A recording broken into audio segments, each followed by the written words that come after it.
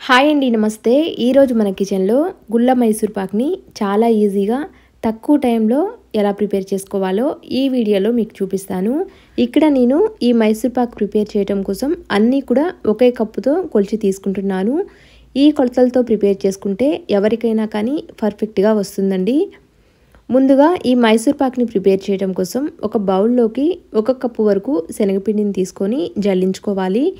ఇలా జల్లించుకోవటం వల్ల పిండిలో ఉండలేమీ లేకుండా చాలా బాగుంటుంది.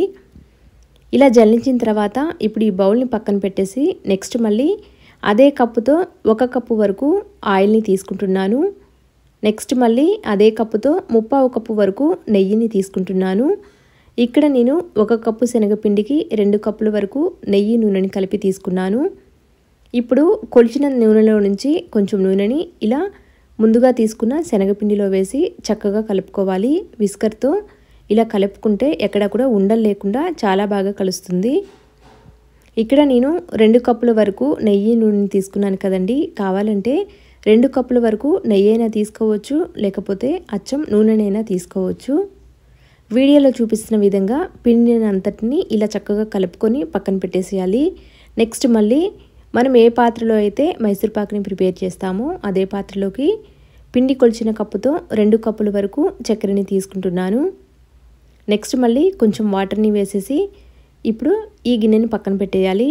నెక్స్ట్ ఇక్కడ మైసూర్ పాక్ని ఏ పాత్రలో అయితే వేసి సెట్ చేస్తామో ఆ పాత్ర కొంచెం లోతుగా ఉండేటట్లు చూసుకోవాలి. ఆ గిన్నెకి ఇలా నూనెని కానీ నెయ్యిని కానీ అప్లై చేసి ఈ గిన్నెని పక్కన పెట్టేసేయాలి. నెక్స్ట్ పంచదార తీసుకున్న పాత్రని స్టవ్ మీద పెట్టి లో ఫ్లేమ్లో ఈ పంచదారని కరిగించాలి. మనం ఏ పాత్రలో అయితే మైసూర్ పాక్ని ప్రిపేర్ చేస్తామో ఆ పాత్ర అడుగు మందంగా ఉండేటట్లు చూసుకోవాలండి. చక్కెర కరిగిన తర్వాత కొద్దిసేపు ఉడికిస్తే ఇక్కడ వీడియోలో చూపిస్తున్న విధంగా ఇలా తీగపాకం వస్తుంది. తీగపాకం వచ్చిన తర్వాత మాత్రమే నెక్స్ట్ ప్రాసెస్ ప్రిపేర్ చేయాలి. వీడియోలో చూపిస్తున్న విధంగా ఇలా తీగపాకం వచ్చిన తర్వాత లో ఫ్లేమ్లో పెట్టి మనం ముందుగా కలిపి పెట్టుకున్న పిండిని వేస్తున్నాను. పిండి ఇలా కలిపి వేయడం వల్ల ఎక్కడ కూడా ఉండలు కట్టకుండా ఈ చక్కెరలో చక్కగా కలుస్తుందండి. ఇలా వేసేసిన తర్వాత వెంటనే ఇలా కలుపుకోవాలి. పిండిని అంతటినీ కూడా చక్కగా కలిపిన తర్వాత ఒక ఐదారు నిమిషాల పాటు ఈ చక్కెర పాకంలో ఉడికించాలి. ఈ చక్కెర పాకంలోకి పిండి వేసేటప్పుడే నెయ్యి నూనెని కలిపి తీసుకున్నాం కదా ఆ పాత్రని స్టవ్ మీద పెట్టామంటే ఈలోపు చక్కగా వేడే ఉంటుంది. ఈ నెయ్యి బాగా వేడైన తర్వాత మాత్రమే ఈ పిండిలో వేసి కలుపుకోవాలండి. అప్పుడే మైసూర్పాక్ గుల్లగా వస్తుంది.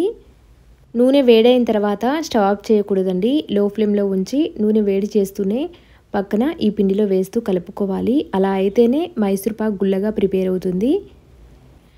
ఇక్కడ మనం తీసుకున్న కొలతలతో కరెక్ట్గా ప్రిపేర్ చేసామంటే మైసూర్ పాక్ పర్ఫెక్ట్గా ప్రిపేర్ అవుతుంది. ఎవరైనా కూడా సింపుల్గా ప్రిపేర్ చేసుకోవచ్చండి.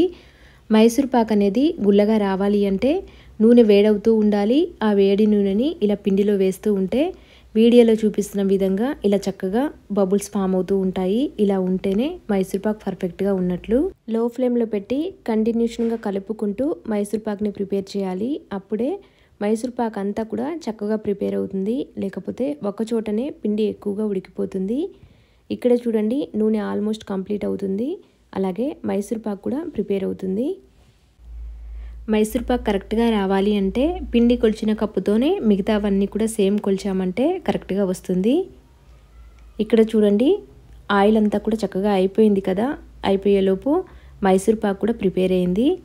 మరీ హార్డ్గా అయ్యే వరకు ఉంచకూడదండి. వీడియోలో చూపిస్తున్న విధంగా ఇలా ఉడికించి ఇప్పుడు స్టవ్ ఆఫ్ చేసేయాలి. ప్యాన్ నుంచి సపరేట్ అవుతున్నప్పుడే స్టవ్ ఆఫ్ చేసేయాలి.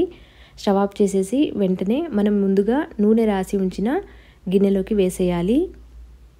ఇలా వేసిన తర్వాత ఒక రెండు మూడు గంటల పాటు పక్కన పెట్టేసేయాలి.